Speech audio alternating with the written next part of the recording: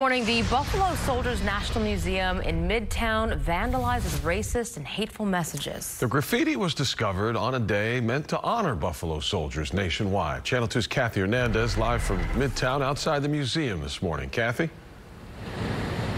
Absolutely very disturbing. You can see right behind me that wall is spray painted. Someone spray painted the wall with what appears to be a swastika and a few other words. The CEO of the Buffalo Soldiers National Museum filed a police report last night saying it happened between Monday and yesterday. Yesterday was National Buffalo Soldiers Day. They painted what appears to be a swastika and other words, including Democratic Party, which is misspelled. According to the police report, neighbors called the CEO to alert him the museum had been defaced. Desmond Bertrand Pitts, the CEO of the museum and the founder's grandson, posted pictures and a message on Facebook.